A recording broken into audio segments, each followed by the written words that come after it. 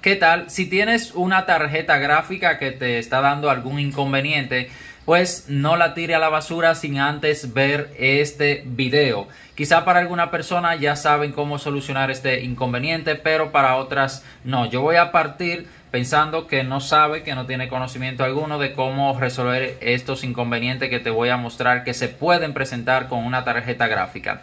Bueno, lo que sucede normalmente es cuando está presentando un problema una tarjeta gráfica es que cuando empezamos a jugar a algún juego o a ejecutar alguna aplicación que requiere de los recursos que tiene nuestra tarjeta de video, eh, en muchas ocasiones la PC se apaga, en otras ocasiones se distorsiona la imagen, presenta eh, varios colores distorsionados, en otras ocasiones se llega a calentar la tarjeta de video. Pero bien, seguido retiramos la tarjeta de video, voy a mostrar algunos trucos que nosotros hacemos, no trucos porque ya todo el mundo lo hace, sino son mantenimientos. Y lo que hacemos es que tomamos un borrador de leche de un lápiz o una goma, como le llaman, y empezamos a limpiar los pines. ¿Qué sucede? Que luego de limpiar los pines volvemos a conectar. Esto no es debido porque quedan residuos de acá y no va a funcionar correctamente la tarjeta. Incluso podemos dañar la ranura donde va la tarjeta porque podemos impedir el contacto entre los pines y la ranura. Lo que yo recomiendo es, luego de la limpieza, es que utilicemos alcohol isopropílico, específicamente mejor con un atomizador, limpiemos bien y luego pasemos ya sea un hisopo para retirar y si no también pueden eh, rociar un poco de alcohol y dejarlo que se seque. Luego cuando se seque sí conectarla. Pero ¿qué sucede cuando esto no funciona? Pues cuando esto no funciona, debemos siempre de recordar que hay que hacerle una limpieza a los disipadores de calores. Debemos de limpiar, desmontar todo esto, limpiar los disipadores de calores que no tengan polvo para que se pueda eh,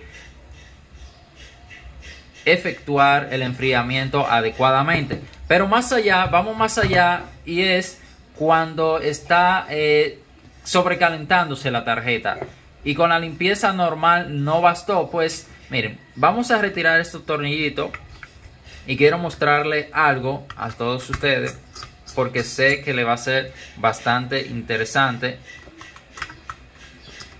para que ustedes vean qué es lo que se procede a hacer y que muchas veces nos cobran por este servicio cuando nosotros mismos podemos hacerlo. Miren acá. Esto que ustedes están viendo aquí se llama pasta térmica. Esto lo que hace es que logra o hace posible que el calor que emite, la temperatura alta que emite este procesador, se disipe hacia acá y los abanicos, los ventiladores, pues puedan enfriarlo ya mediante estos, estos disipadores de calores que tiene por acá. Cuando esta pasta térmica está seca, esta no está seca, miren.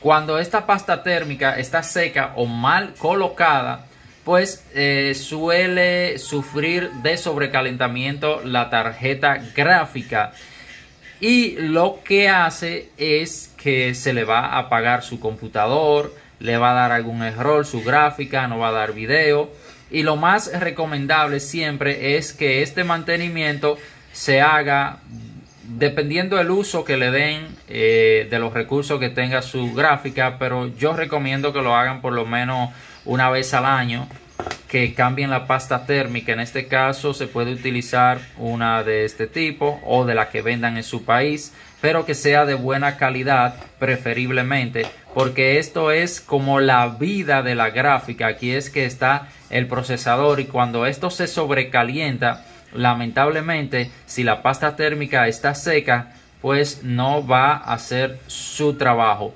Hay otras ocasiones en las que hay una mala colocación de pasta térmica. Por ejemplo, anteriormente esta, yo destapé esta gráfica y tenía pasta térmica por todo esto alrededor.